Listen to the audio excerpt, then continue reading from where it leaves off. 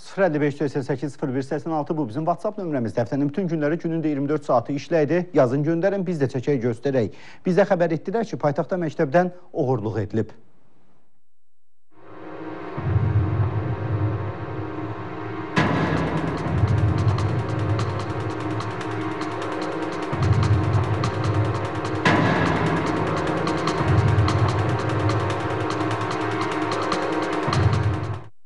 Hər birimiz məktəbə təhsil alıb elm öyrənmək üçün üst tutsaq da, ancaq təəssüf ki, bu dəfə dırnaqarası qəhrəmanlar yollarına təhsil ocağına öz çirkin əməllərini həyata keçirmək üçün salıblar. Məktəblərin qış tətilindən buraxılmasını fürsət bilən şəxs və ya şəxslər iki gün öncə paytaxtın Nizami rayonunda fəaliyyət göstərən Şamil Əyyubov adına 2 nömrəli məktəbdən uğurluq ediblər.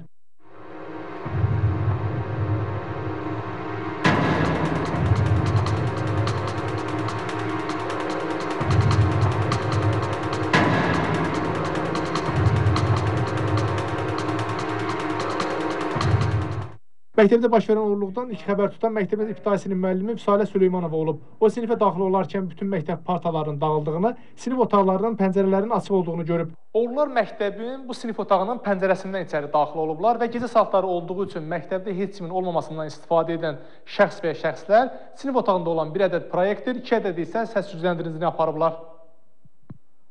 Oğurluq hadisəsinə dünən müəllim səhər işə gələrkən məktəb sinif otağına, ibtidai sinif müəllimədə də yaxınlaş e, daxil olmaq istəyərkən qapını açmış və orada pəncərənin açıq olduğunu e, müşahidə etmiş. e, sinif otağında dağınıq vəziyyətdə görmüşdür. Dərhal bizə məktəb rəhbərliyinə məlumat vermişdir.